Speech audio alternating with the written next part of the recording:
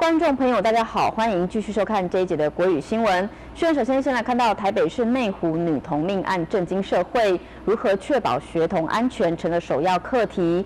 对此，教育处是表示，除了会结合警政与社区力量协助维护校园安全外，也会要求校方进行安全演练，加强孩童的危机意识。内湖女童命案震惊社会，也让人再度关心校园安全的问题。而县内校园大多是没有围墙的开放空间，如何确保学童安全成了首要课题。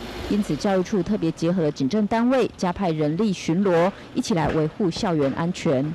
呃，我们平常就会针对学校的部分哦，就是白天及晚上都会加强巡逻。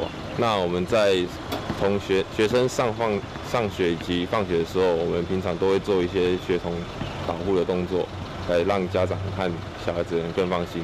那有鉴于近日我们内湖女童命案哦，我们上级局长有指示哦，我们会在针对我们辖内一些潜在的智商或者是伤人之余的一些潜在的危险分子，我们会加强动态的查访，来避免再有如此遗憾的事情发生。教育处也会要求县内各校在一星期内重新进行校园安全演练，提高学童的防护意识，并且针对校园监视器进行汰旧换新，减少治安死角。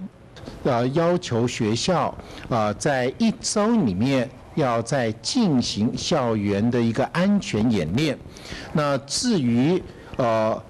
学校里面的监视器的一个汰换更新的部分，呃，我们在去年已经有十七所学校。啊，进行更新。今年我们还会有七十所学校啊，在警政单位的一个呃指导之下，我们进行这部分的更新。我们希望对于校园的一个安全的一个监视的一个部分，能够做到滴水不漏。那另外，我们也重视孩子们的上放学的一个部分，所以我们定定了三年的安呃学校的一个安全。通廊的一个计划。